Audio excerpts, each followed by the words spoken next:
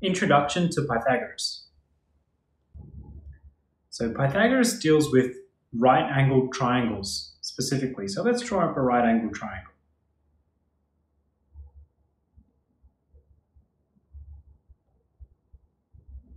There exists such a triangle where this side is 3 units long, this one's 4, and this one's 5. What I'm going to do here is I'm going to put squares on each of the sides.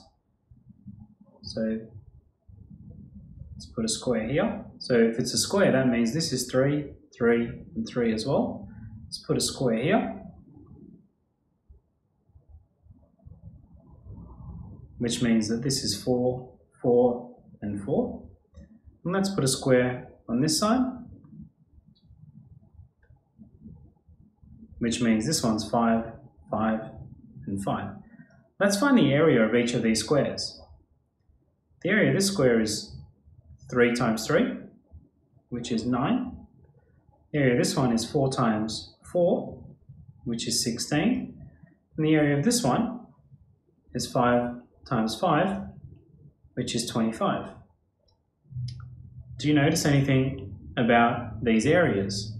If you look closely, well 25 actually equals 9 plus 16.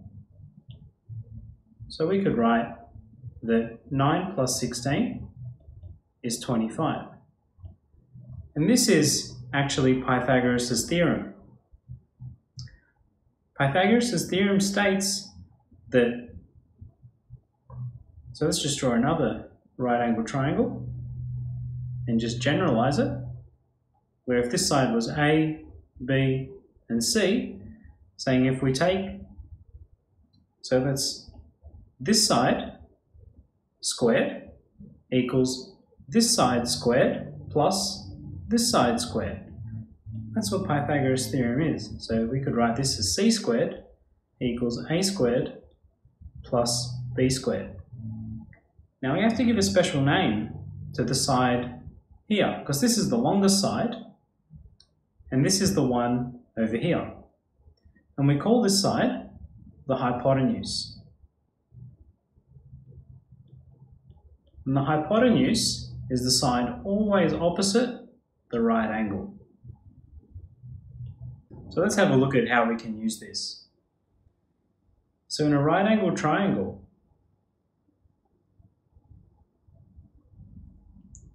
we have to know that the side opposite the right angle is always called the hypotenuse.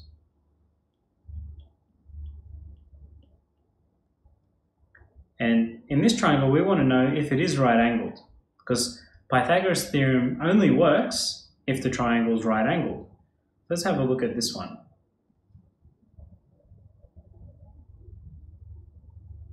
So we've got 5 meters, 8 meters, and 10 meters. Is this a right angled triangle? If it is, Pythagoras' theorem will hold true. And Pythagoras' theorem is the longer side, or the hypotenuse, squared equals the other two sides squared and added together. 10 squared is 100, 5 squared is 25, and 8 squared is 64. Remember, squared means a number times itself. Does 100 equal 25 plus 64? Well, that's 89, and that's not true. So the triangle is not right angled because Pythagoras' theorem does not hold true.